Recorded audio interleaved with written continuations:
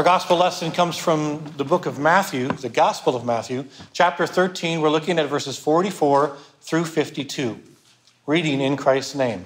Uh, Jesus is speaking. The kingdom of heaven is like a treasure hidden in a field, which a man found and covered up. Then, in his joy, he goes and sells all that he has and buys that field. Again, the kingdom of heaven is like a merchant in search of fine pearls who, on finding one pearl of great value, went and sold all that he had and bought it. Again, the kingdom of heaven is like a net that was thrown into the sea and gathered fish of every kind. When it was full, men drew it ashore and sat down and sorted the good into containers, but threw the bad away. So it will be at the end of the age. The angels will come out and separate the evil from the righteous and throw them into the fiery furnace. In that place there will be weeping and gnashing of teeth. Have you understood all these things? They said to him, Yes. And he said to them, Therefore, every scribe who has been trained for the kingdom of heaven is like a master of the house who brings out his treasure, what is new and what is old. Here ends our gospel lesson. You may be seated. So many of you guys know that we're moving Connie out here, and as we were doing that, you got to pack up and, and load things into a truck. And we, we kind of took that opportunity to kind of purge. It was a good time to say, hey, we don't need this and we don't need that. But it started to, to really cause me to think, especially about our text today. And I started thinking about the question how do we value things? What's the process that we go through to place a high value on specific things in our life? There were certain aspects of memorabilia from all four of our kids that there was no way that we were going to throw away. They were just too valuable to us because they meant so much to us. But as we value things in life, how do we do that? How do we place value on things? And as I was thinking about that, and I've said this many times already, and I know my confirmation students have this question and answer drilled into their head. And you will hear this question from me continually uh, for as long as God calls me here, or until you finally just throw me out and get rid of me. The question is this What is the most valuable thing that you can possess in this life? And the answer is salvation. The most valuable treasure that we possess in this life is indeed the salvation that Christ Jesus has provided through his life, death, and resurrection.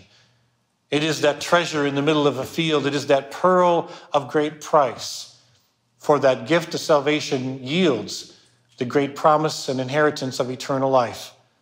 And Paul remind, reminds us of the greatness of that promise that no eye has seen, no ear has heard, nor mind of man imagined what God has in store for those who love him. This is the most valuable thing that we can possess.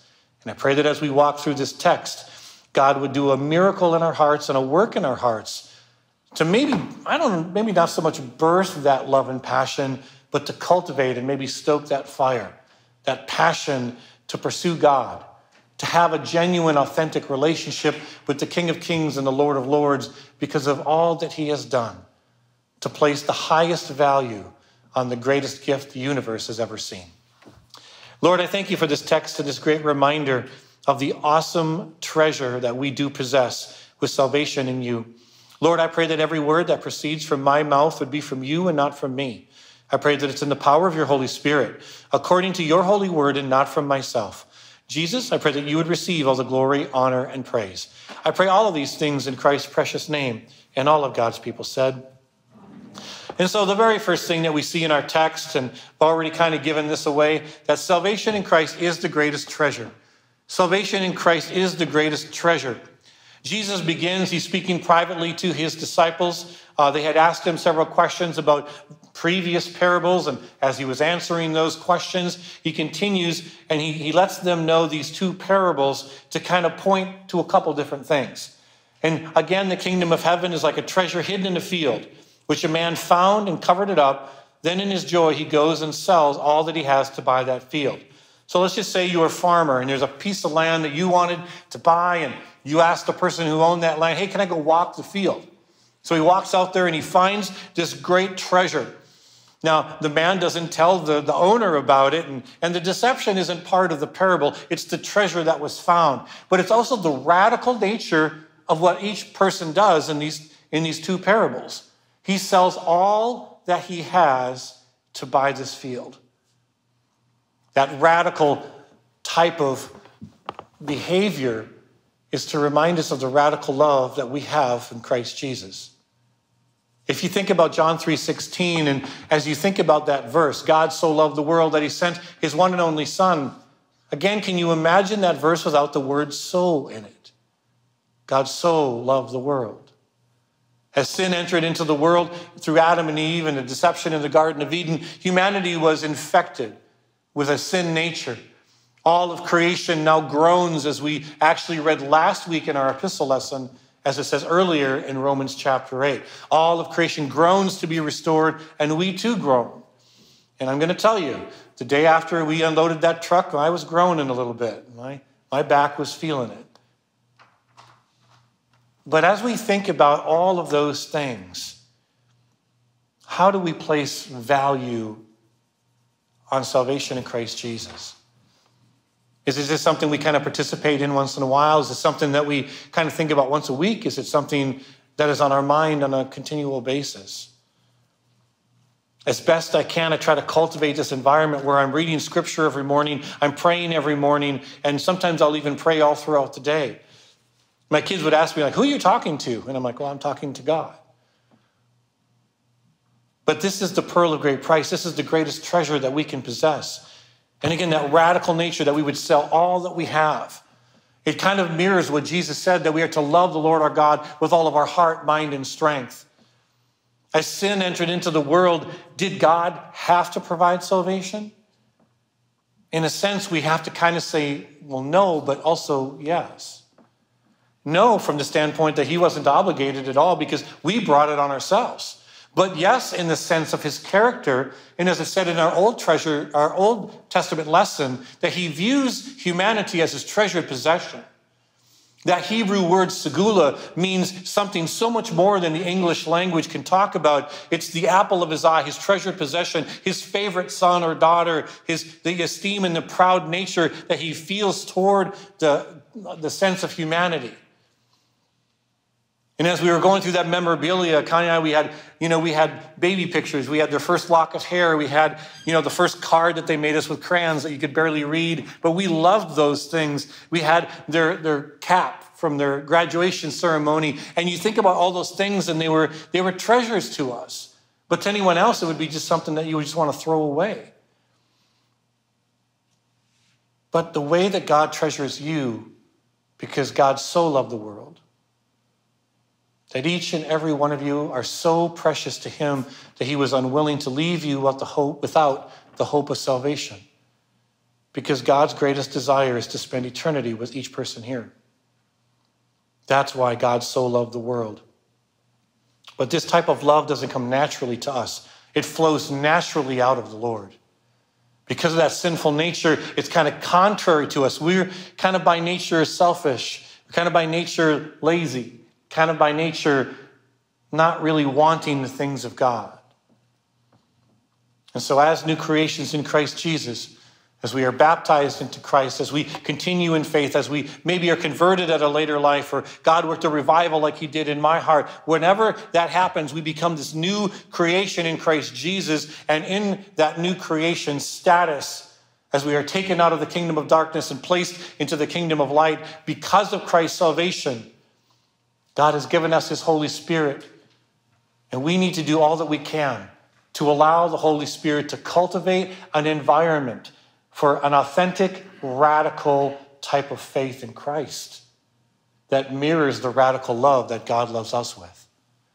This willingness to give all that we have for the sake of the kingdom, to give all that we who all of who we are over to the King of Kings and the Lord of Lords. Because the one thing I said before, and I will continue to say again yes, salvation is free. But the one thing that God asks of us in the wonderful free gift of salvation, that is the greatest treasure, all He wants from us is our heart. But He wants all of it, not just parts of it. The next thing that we say, see in our text is that salvation is for all, but unfortunately, many will reject it. Salvation is for all people, but unfortunately, many will reject it. Let's look at verses 47 through 50. Again the, again, the kingdom of heaven is like a net that was thrown into the sea and gathered fish of every kind. When it was full, men drew it ashore and sat down and sorted the good into containers and threw away the bad. So it will be at the end of the age. The angels will come and separate the evil from the righteous and throw them into the fiery furnace. In that place there will be weeping and gnashing of teeth. And so, in love, as Jesus speaks directly to these disciples, as 11 of those disciples will become apostles of the believing church, he speaks to them honestly, truthfully, and in love. He speaks to truth and love not only for their benefit, but also for ours. And so the kingdom of heaven is for all. And all throughout the Old Testament, we are reminded of that, that the coastlands wait for God's justice that as the Messiah was called to and through the nation of Israel, and that salvation would begin in Jerusalem and then go out to all of the world. After Christ had risen from the dead and he gives that great commission go to all the world. In the name of the Father and the Son and the Holy Spirit, be baptizing, making disciples of all people, and teaching them all that I have commanded you. And so the promise of salvation, yes, was to and through the nation of Israel, but it's always been for the entire world. And to that I say hallelujah and amen. And so God offers salvation to any and all who will call on the name of the Lord because scripture says everyone, not just some, says everyone who calls on the name of the Lord will be saved. Amen. I'm so thankful for that. But he also tells us the truth. And you think about doctors, you know, I don't go to a doctor and pay that doctor to lie to me. I wouldn't want that doctor to tell me a half truth or, or part of the truth or not tell me the truth. And so Jesus in love tells the truth for the sake of our own souls. So it will be at the end of the age that the angels will come out and separate the evil from the righteous. And of course, the only way that we can become righteous is in Christ. We are clothed in Christ's righteousness and we are placed into a right standing with God because of Christ's righteousness. And we remain in a right relationship with God again because of Christ's righteousness. It's been credited to us. Galatians chapter 3, verse 27 talks about how we are clothed in the righteousness of Christ. And so, those who are righteous because of Christ, those who are saved, those who are new creations, this will be a glorious day. A day like no other, a day where we will actually get the inheritance that has been promised and guaranteed through the power of the Holy Spirit. An inheritance that is beyond our wildest imagination, an inheritance that gives us hope in the midst of difficulties it gives us peace in the midst of turmoil, and it even gives us comfort in the midst of grief and distress. The promise of eternal life reminds us that this world is not our home, and that in Christ Jesus, through his life, death, and resurrection, he has offered this incredible gift, this treasure, this pearl of great price, the most valuable thing that we can possess. And so salvation is for all. But as I said, unfortunately, many will reject it. The final thing that we see in our text is that disciples of Christ are called to be continual learners. Disciples of Christ are called to be continual learners. So this kind of says the same thing twice because the word disciples in the Greek literally means learner. And a lot of times, in a grammatical sense, it's in a present active, meaning it's continual. It's something that continues on throughout the entirety of our life. I think it, it's one of the most of the exciting things about my calling as a pastor. You know, I was an audio engineer before I, I, I had this call that God gave to become a pastor and a preacher of the gospel of Christ. And the one thing I absolutely love about my calling is that there's no glass ceiling to Scripture, meaning I'll never know all there is about Scripture. And that may sound kind of weird, but that excites me because there's always more to learn, always more to read. And every time I read a text, even though I've preached on it before, it's amazing how the Holy Spirit will kind of give me like a new nugget, a new treasure that I find in Scripture. And that excites me. I love that. I know many of you guys know this, but Tuesday is my study day, and I love Tuesdays. Not because I don't want to talk to people or whatever, but it's my time to get my coffee and get my books open and just really dig into God's Word. And I love that day. And I'm telling you, it flies by. I'll start at like 8:30 or 9 in the morning and I look at the clock, it's like 2 and I'm like, "Oh wow, I didn't even eat yet." And I love that part of it. I do. And so what Jesus is trying to express to the disciples is, is to have that passion. Have that passion for the Old Testament and the New Testament. And he asked them, and I think this is kind of a funny question. So he looks at the disciples and says, Have you understood all these things? And their answer was, Well, yes. Well, that's not totally true because all we need to do is go to Acts chapter 1 and they ask Jesus after his resurrection, Is this now when you're going to establish God's kingdom? So they still didn't quite understand or have the whole picture of what the spiritual kingdom that Christ provided through his life, death, and resurrection looked like. Now, we all know that there'll be a physical consummation of that at the second coming, but the, the, the apostles were still kind of figuring that out. You know, they didn't have the, uh, the outpouring of the Holy Spirit to help them understand the scriptures in the way that's required. And quite frankly, that's what we need too. Paul reminds us, the apostle in 1 Corinthians chapter 2, that we must have the Holy Spirit to understand the scriptures properly, or we'll misinterpret them. Must be interpreted only and totally through the power and presence of the Holy Spirit. So, did they fully understand? Well, they probably did in part. They understood that there was going to be a reckoning, a judgment day, because Jesus had said it three times in this chapter. They knew that there was a heaven and a hell, and that all souls would live eternally in one of those two places. And God's desire is that all men, all people, would be saved and come to a saving knowledge of Christ. This is God's greatest desire. But as I said before, many people refused it or rejected it. Now, in verse 52, as he calls them scribes in a sense, therefore, every scribe who has been trained in the kingdom a scribe was like a professor of the Word of God. It was a doctor of the Word of God, the doctor of the Scriptures. All of these men hadn't gone to any type of formal training in their school. And so all of them were like, wow, we probably have some studying to do that. And that's what really what he's conveying, that, that we are to be students of the scriptures, learners of the scriptures, the Old Testament as well as the New. Because can the Old Testament scriptures lead people to salvation in Christ? Absolutely. The disciple Philip used Isaiah chapter 53 to bring an Ethiopian eunuch to our Lord and Savior Jesus Christ. He led them in salvation through the Old Testament scriptures. And so that's the beauty of the scriptures, preserved for us by the Holy Spirit, the holy word of God that is authoritative, that is inerrant, and that is inspired by God, preserved for us as a gift by God. We search the Old Testament scriptures and the New Testament scriptures, and we find the treasures in the Old and we find the treasures in the New. And it was kind of like that as we went through that memorabilia of our kids. We had old treasures from the past, from their kindergarten years to their, you know, to their teen years and, and all of that. And now we have new treasures, our grandchildren. When I run up and see them and and uh, Aria for her birthday, I brought her, you know, her present. She's like, Grandpa, and she didn't say quite that clearly, but I knew what she was saying. And she run to me and she gives me a big hug and I pick her up. And there's nothing more precious than that. But actually, there is. What's more precious than that? The salvation that we have in Christ Jesus. I know I've shared this before, but I had a pastor, and I'm so thankful he told me this. And what he said to me was, Brian, the only thing you can really take with you is your kids to heaven. The only thing you can really take to heaven with you is your kids. I took that seriously. And every night we would read scriptures to them and we would pray with them. And if we failed to do it one night, they would come and get us. And I love that.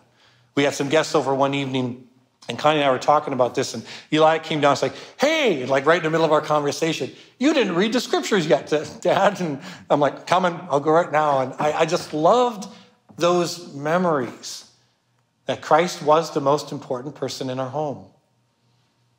And so the two questions I drill into the confirmation students for three years. Two questions that I will continually ask all of you. Two questions that I will always ask myself. And if you feel led to answer, please do so. We're in church. We can get excited about Jesus in church. I know that we're South Dakotans, but it's okay to say something in the middle of a service. And so, what is the most valuable treasure that you possess? The answer is salvation. Who's the most important person in your life? The answer? Jesus. Those two questions will root us in what's true, what's good, and lovely. It will anchor us according to God's love and the promise of eternal life that's found in Christ's salvation. It will be our comfort in distress. It'll be our, our compass in the midst of a storm. The Lord is our shepherd, we shall not want. He makes us lie down in green pastures. He leads us beside still waters. He restores our soul. And then that wonderful promise at the end of that beautiful psalm that surely goodness and mercy will follow me all the days of my life, and I will dwell in the house of the Lord. How long? Forever. This is the most valuable thing that we possess the salvation that yields the promise of eternal life. May we never take that for granted, and may we never lose sight of the truth that Christ shares with us in these parables this morning. Lord, I thank you for this text and again, this great reminder of the great treasure in the midst of, of the field, the pearl of great price, and the radical love that you have called us to. Lord, help us by your Holy Spirit to cultivate a radical love for you, to foster a genuine and authentic relationship with Jesus Christ, our Lord and Savior, and to always look to him as the author and the finisher of our faith, allowing the promise of eternal life to give us hope, to give us peace, to give us comfort, no matter what this life throws at us. Be with us, lead us and guide us according to your will and to your spirit. I pray all of these things in Christ's precious name. And all of God's people said,